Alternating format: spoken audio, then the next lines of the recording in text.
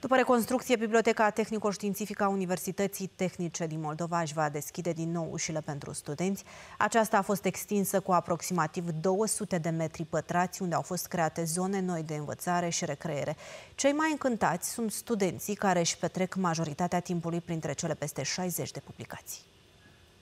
După modernizare, aceasta va oferi acces la resurse informaționale cu zone atractive pentru învățare, cercetare și socializare.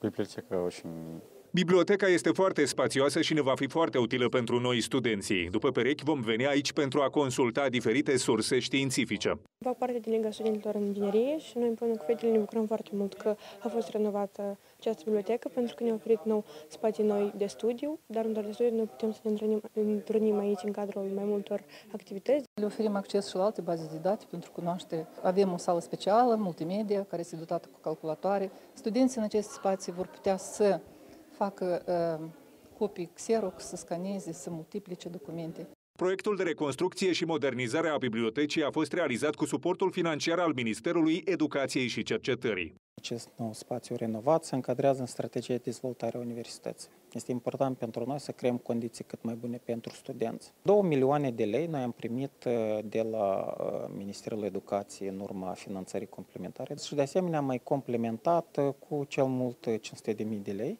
Sursele financiare pentru reparații sunt uh, din bugetul de stat, uh, acordate în bază de concurs, în baza formulei de finanțare care este elaborată de Ministerul Educației. Universitatea Tehnică uh, a câștigat din urma concursurilor peste 5 milioane de lei, dintre care circa 2 milioane erau destinate pentru renovarea bibliotecii. În prezent, instituția dispune de 100 de locuri pentru utilizatori și deține peste 60.000 de publicații.